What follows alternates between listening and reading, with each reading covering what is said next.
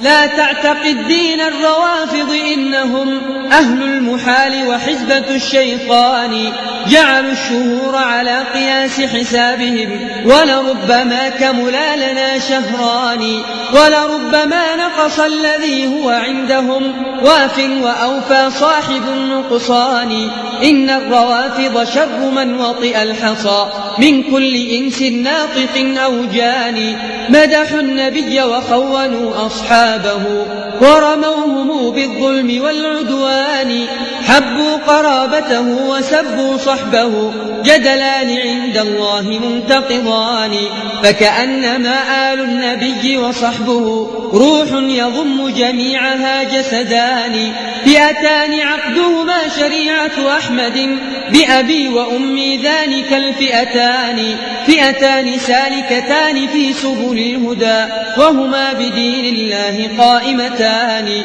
قل إن خير الأنبياء محمد وأجل من يمشي على الكثبان وأجل صحب الرسل صحب محمد وكذاك أفضل صحبه العمران. رجلان قد خلقا لنصر محمد بدمي ونفسي ذلك الرجلان. فهما اللذان تظاهرا لنبينا في نصره وهما له صهران. بنتاهما أسنى سناء نبينا وهما له بالوحي صاحبتان. أبواهما أسنى صحابة أحمد يا حبذا الأبوان والبنتان.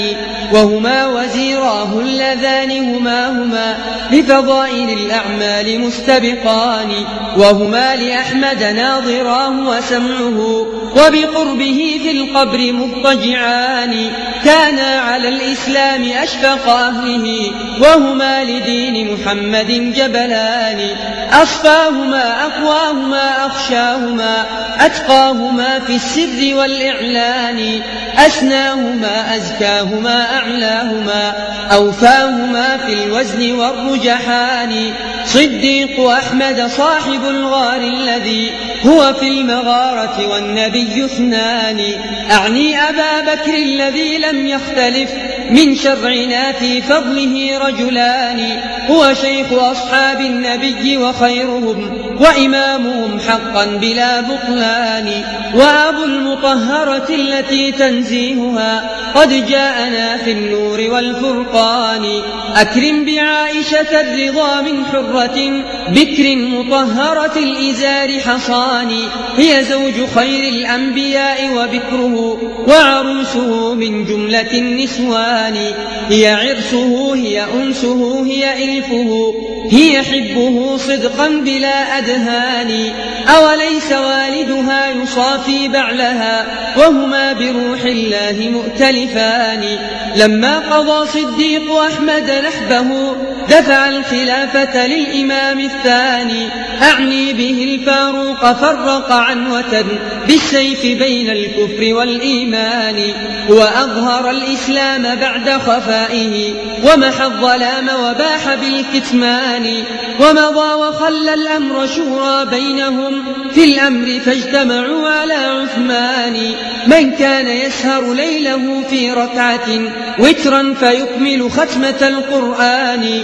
ولي الخلافة صهر أحمد بعده أعني علي العالم الرباني. زوج البتول أخا الرسول وركنه ليث الحروب منازل الأقران.